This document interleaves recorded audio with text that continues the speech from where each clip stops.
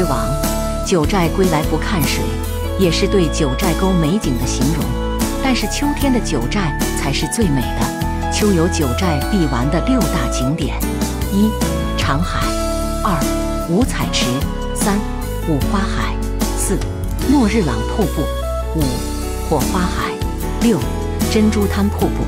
有一说一，九寨沟 YYDS 在经历地震四年后，九寨沟终于全域开放了。今天我是真的被九寨震撼到了，不加任何滤镜，带你们看看重建归来的神仙九寨。虽然是淡季，但是门票只要一百三十块钱，是我真的没想到的。重点是每辆区间车上还配了一位导游小姐姐，全程陪同解说，也是没谁了。这两个景点，我是建议大家多多看一点，因为这个水啊，它就必须要在有阳光的时候，它拍出来的效果呢才比较好。九寨沟实际上就是由各个小景点组成，用区间车串联。到站了，挨个下车打卡就行。五花海就是宣传照上镜率最高的地方了。这不知道咋形容的湖水，属实是惊艳到我了。渐变的湛蓝，水下的沉木，远处的雪山，正好的阳光。小学课本真的没骗我，静海一定要早点来。导游说早上十点来是最好的，那时候没什么风。不过这会儿我觉得已经很惊艳了。长海给我的感觉像极了喀纳斯，这里就是海拔最高的长海。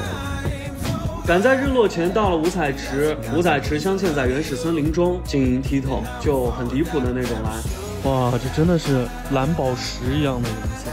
诺日朗瀑布来晚了，据说太阳直射的时候是可以看见彩虹的。作为国内最宽的瀑布，也是挺震撼的。其实还有很多小景点，像熊猫海、建筑海之类的，景色大同小异。时间原因，就留给你们自己去挨个体验吧。到这儿，我以为今天的惊喜就够多了，直到我在快出园的路上放起了无人机。